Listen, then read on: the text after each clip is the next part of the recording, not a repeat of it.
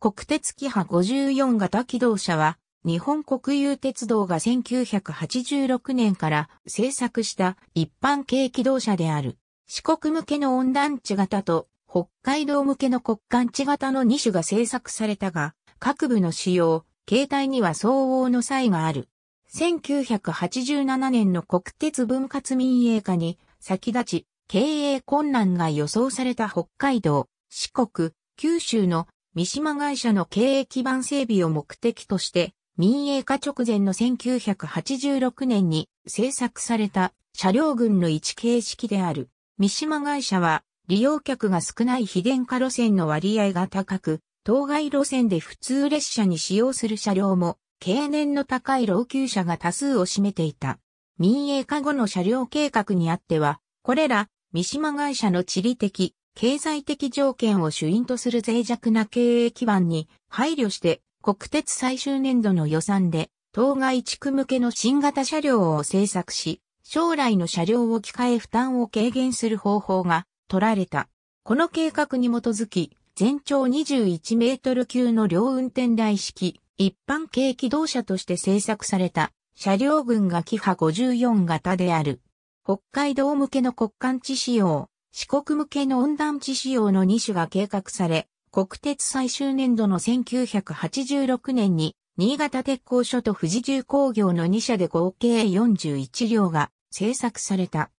対抗性に優れるステンレス製軽量車体の採用、勾配や積雪に耐える性能を得るためのエンジン2機、搭載など、地域の実情に応じた装備が施されている。一方、台車や変速機、運転台機器等には在来車の廃車発生部品を再利用し、一部の機器にはバス用のハム用部品を用いるなどの策で製作コストの適正化に留意している。キハ54から4の運転台周りキハ54-500番台の運転台 DM 回 13HS 型エンジン本節では共通部分について記述し、各仕様特有の構造については、講談にて説明する。車体21メートル級の構え体で、外部構造にステンレスを用いる、塗装工程省略などのメンテナンスフリーや、軽量化目的のほか、ステンレス車体が1985年以降、国鉄電車に本格採用されて一般化し、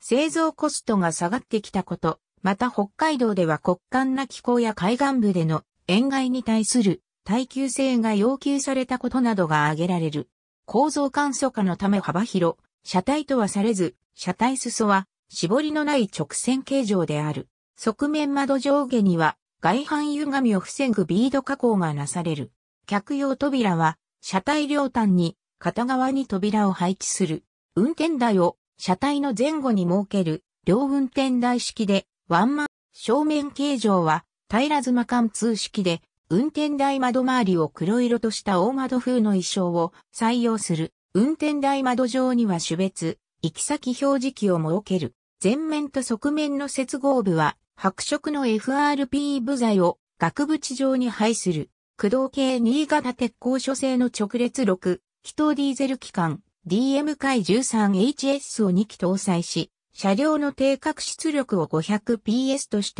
ターボチャージャー付きの直噴式で指導性と熱効率に優れ、メンテナンス性も改善されている。液体変速機は採用品で TC-2A 型 DF115A 型のいずれかを装備する。これはキハ20系機動車などの従来車で採用された一段直結式の変速機で逆転機の機能は内蔵しない。機関出力の向上に応じ、クラッチ周辺を強化する改造が施された。台車は採用品の DT22 系を装備する。軸箱指示は、ウィングバネ式、枕バネは、コイルバネを用いた、国鉄一般軽機動車の標準使用品である。駆動機関以外の電動機構が、在来車両の採用品であるため、最高速度は、在来軽機動車と同等の時速 95km とされた。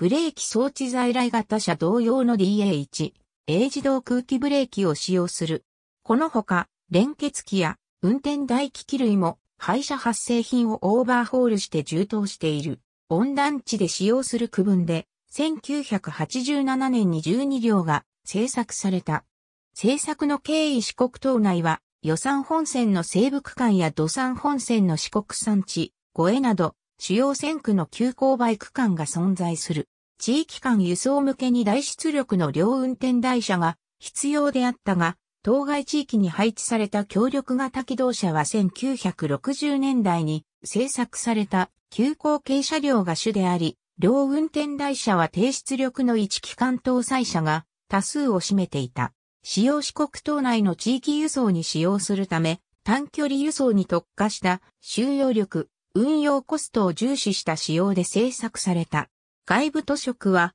当初は、ステンレス地に機関色のストライプを斜めに配した。JR 移行後にコーポレートカラーの青色を基調とした塗色に変更された。客室窓は二段式の大型ユニット窓である。客用扉は 900mm 幅のリドとし、戸袋を省略している。下方まで拡大された大型窓が特徴で、バス用のドアエンジンを利用したほか、速度感知式のドアロック機構を装備し、出発、到着時に自動、正面下部のスカートは省略された。キハ54型0番内の車内客室の座席配置はロングシートとされ、キハ38型と同一のバケットシートに加え、肘掛けの役割を兼ねた仕切り板を座席間に3から5人ごとに配置して着席区分を明確化している。トイレは設置されず、室内のデッキ仕切りもない。冷房装置はバス用の機器を流用し、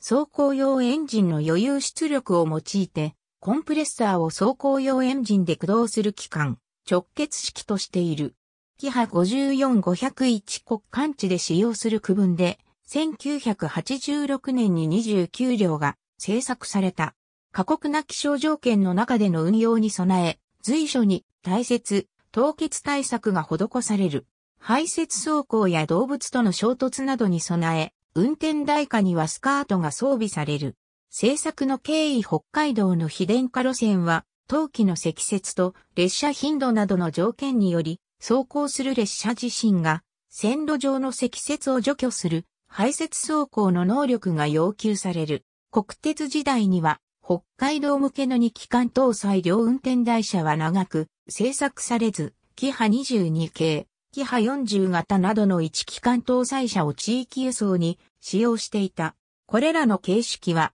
出力に余裕がなく、当機は上調性確保のため2両以上の編成で運行する対応が取られた。輸送実績に非死コストが課題となることから、この運用方法の解消は長年の課題であった。1986年には急行列車の削減で余剰となったキハ56型を改造した2機関搭載の両運転台車、キハ53型500番台が新名線などに投入された。しかしこれは種車の経年等からも長期の使用を想定し得るものではなかった。使用キハ54-524台車、交換済み客室窓は小型の一段上昇式で車内側に FRP 枠のうち窓を備えた二重窓である。客室扉は 850mm 幅の引き戸で、凍結対策としてドアレールとステップに機関排熱利用の温水ヒーターを装備する。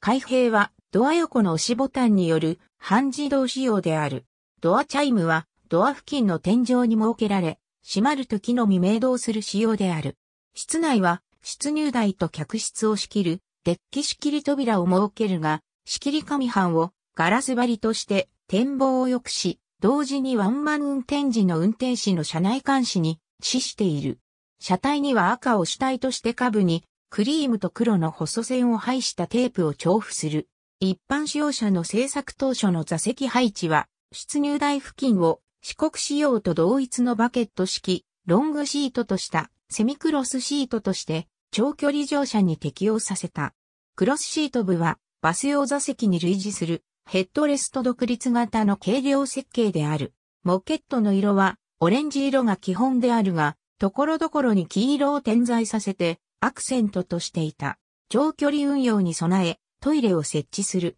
当初は FRP 製ユニット式の垂れ流し式であったが、後に洋式便器を使用する循環式に改造され、汚物タンクは床下に設置するスペースがないため、床上に追設された。水タンクは屋上に設置され、圧縮空気やポンプを使用しない重力給水式である。冷房装置は装備せず扇風機のみを室内に設置し、屋上には押し込み式通風機を配置する。暖房装置は気管冷却水を利用した強力な仕様である。駆動系は1台の機関を停止し、1機関での走行も可能な仕様とされた。これは排泄対策を要しない下記の運用コストに配慮した仕様であったが、使用線区の線路条件に鑑み、実際の運用では通年にわたって2機関を使用する。台車は軸バネにゴム被覆を施した DT22 回形で、コイルバネへの雪紙によるバネ機能喪失を防止する。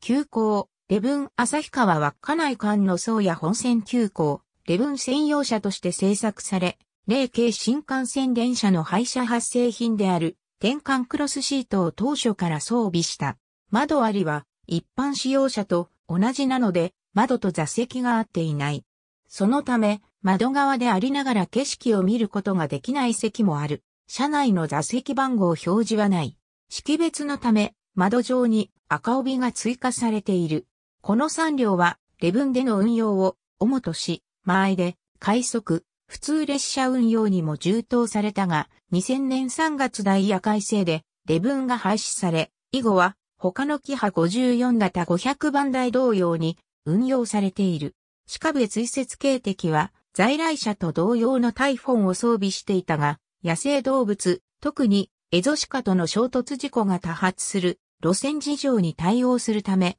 鹿笛と呼ばれる甲高い音色のホイッスルに交換されている。屋上装備で大切カバーに覆われている。元々の警笛がついていた部分は、ステンレス板で塞がれた。機器更新駆動系の主要機器について、流用部品を更新する工事を2003年から2005年に実施した。液体変速機を直結に段式の NDW54 型に換装し、推進軸も軽量化されたものに交換された。制御装置は電気式の自動診断装置を装備し、変速弾と直結弾の切り替えが自動化された。他社への切り替え指令を可能とするため、返事化、切り替えハンドルは残されており、キハ40系機動車など、手動切り替え式の在来機動車とも並結運転が可能である。台車は軸量式、ボルスタレス台車の NDT54 型に交換された。牽引装置派主車の心皿を流用している。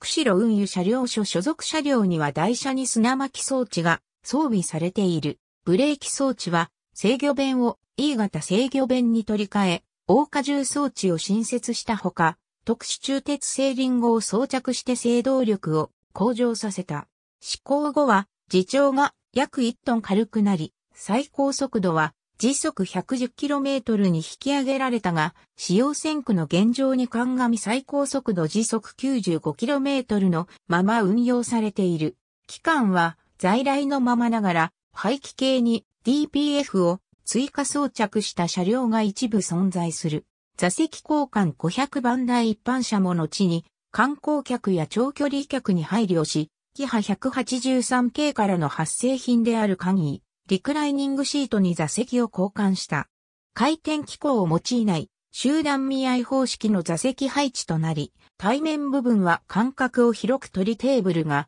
設置されている。釧路運輸車両所所属の花咲専用の車両は再交換を実施し、海峡用のオハ50系から転用した転換クロスシートを装備した。座席のモケットは水色地に北海道の鳥をデザインしたものに張り替えられた。旭川運転省所属車両の一部には、製造当初の座席のまま、モケットのみをキハ183系同様の単調柄に張り替えたものがある。後述するラッピング車両でもある522は789系線番台自由席と同タイプのリクライニングシートへ交換された。こちらも集団見合い式の固定配置となっている。これら座席交換のなされた車両はいずれも窓と座席の間隔は一致していない。トロッコ列車、清流四万と号として運用される、キハ54型0番台とトラ4万5000、軽トロッコ車四国使用車松山運転所に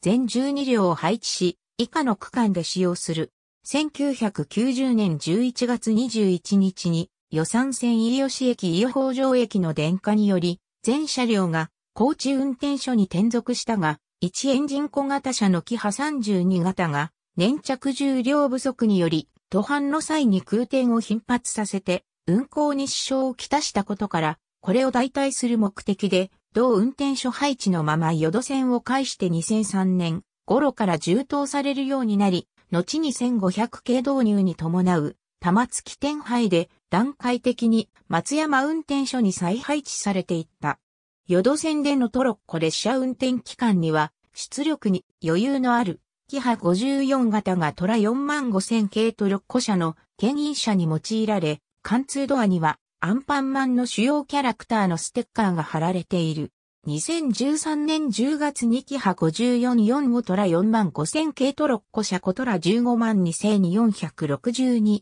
と共にリニューアルして、四万トロッコとして運転している。淀線、予算線、内子線において、ラッピング列車、お散歩南予も運行。北海道使用車製造当初は、旭川運転所、苗穂運転所、函館運転所、釧路運転所に配置された。しかし、1988年10月までに、一旦、旭川、釧路に集約され、2017年4月1日現在は、旭川運転所、釧路運輸車両所に配置される。気象条件が厳しく、長距離運用の多い道北、道東で、主に運用される。旭川運転所配置車釧路運輸車両所配置車、花咲専用の車両は、台車交換工事施工時に、車体の帯を、浜ナスの花の色に似た、ピンク一色のテープに変更した。520は、車体全体に花をあしらったデザインのラッピングを施されたが、同社は2007年3月1日に、石北本線で発生した踏切脱線衝突事故により、同年3月7日付で廃車となった。これに伴い、旭川運転所から507が、釧路運輸車両所に貸し出された。507は、ラッピングが施され、JR 北海道釧路支社の広告車として、釧路地区で運用されていた。その後、507は、522は、2012年より、ルパン3世のラッピングが施されている。507.508の2両は、2017年1月28日より、専門本線、網走知床車里間において運行を開始した臨時列車、流氷物語号へ充当するため、専用のラッピングを施されている。521は、車体の半分が赤基調、もう半分が白基調のラッピングを施され、地球探索鉄道花咲線ラッピングトレインとして2018年11月1日より運行されている。ありがとうございます。